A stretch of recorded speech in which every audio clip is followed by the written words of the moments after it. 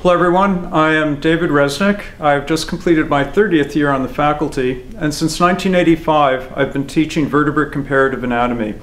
When I arrived here in 1985, many of the things that I would love to have done with anatomy were not possible because one of the things that makes anatomy a captivating subject is the remarkable skeletons that the animals have, and we had no real skeleton collection. After I'd been here for a year or two, one of the graduate students at the time, Judd Case, had the idea that there were great skeletons to be had in the form of animals at the San Diego Zoo that died and had gone through their pathology department. He made contact with someone in the department and said that we would appreciate it very much if we could have those carcasses and then prep our own skeletons from them. The first gift that we got from them was this animal right here. It was a lion, and it raised some controversy to bring a couple of hundred pound large cat to the building for a dissection but then the faculty and the chairman saw 30 students walking out of the lab smiling and saying that dissecting this animal was the best thing they had ever done in, as an undergraduate. And so from that point on, we became established as a place where the San Diego Zoo could go to if they had animals that were available and had gone through autopsy. And what you're looking at around in this room is the product of almost 20 years of voluntarism on the part of the undergraduates who are taking this class because in addition to taking anatomy, very often they had the opportunity to help prep a large specimen. One of the specimens that we got shortly after the lion was this animal right here.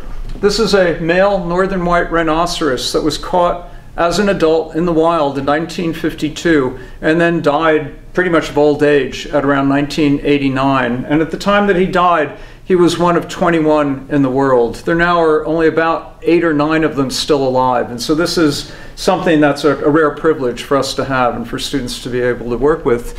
Here we have the skull of a female elephant. She was the first elephant on which they had tried to do an abortion. Her fetus had died and they successfully completed the operation, but she got peritonitis and she died as well. She was a young animal, and they gave us the head and they gave one of the legs to a member of our anthropology department because he was dying to have fresh elephant bone to test some of his ideas about tool use and tool making in Native Americans, which had elephants to work with, at least in the forms of mammoths and mastodons, and he wanted to see what fresh bone was like. Over here we have some trophy skulls of African antelopes, uh, lesser kudu and oryx and other types of animals. They had many of these frozen and they were happy to give them to us so that we could prep the specimens. Here we have our big cats. In addition to the lion, we have a Bengal tiger, a Sumatran tiger. There we have a cheetah. We actually have two cheetahs in our collection. Um, here we have a pygmy hippopotamus, a tapir, an eastern kiang, an endangered species of, of horse that's found in Asia. And in fact, I don't know that any of them are still wild in Asia, uh, but we have one in our collection. Um, then we have here a male orangutan who died in the Santa Ana Zoo. And as you can see from his vertebral column, where here where the vertebrae are fused, this is an animal that had serious arthritis. He was an animal that was kept in an old-fashioned zoo which were pretty much like prison cages. Animals weren't able to be active, and as a consequence, their skeletons deteriorated severely. And so this animal, by the time he died, would have been in a world of pain. And he's a very good animal to have for anatomy because it gives students a chance to see what arthritis is and what it looks like at the level of the skeleton.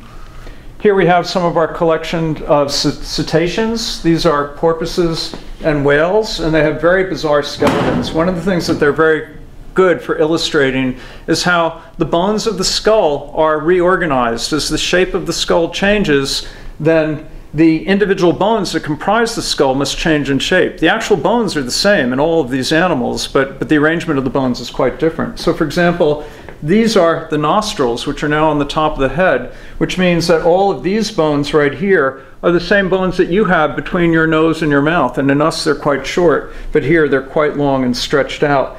And then the bones in the back of the skull are very compressed, and they're actually asymmetrical. Some of them are missing. And here you're looking at a short-beaked whale where, where this part of the skull has become so asymmetrical it would look abnormal. But in fact, this is what the animals normally look like. It's just part of the process of bone reorganization. One of the nice things you can do with comparative skeletons is look at how animals are adapted to certain lifestyles. So, for example, this is a cheetah which was assembled by an undergraduate named Dan Duffy, who later went on to uh, medical school. Uh, but what we can do is talk about why a cheetah can run so fast. We can compare the cheetah with the lion or the tiger and illustrate very graphically how the skeleton has been modified to enable these animals to accelerate and attain such high running speeds. Plus, we have the trophies. This is a giraffe. We were given a large female giraffe, and I know in a way that very few people know how big a giraffe really is because I've skinned and prepped a giraffe with the help of many other people. This is a manatee. This is a camel.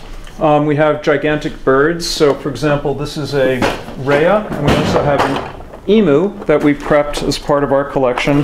And all these are specimens that students get to work with when they study anatomy here. But the important thing is that all these are a legacy of work that was done by former students, generations of students between about 1988 and a little after the year 2000 when we stopped generating our own skeleton collection.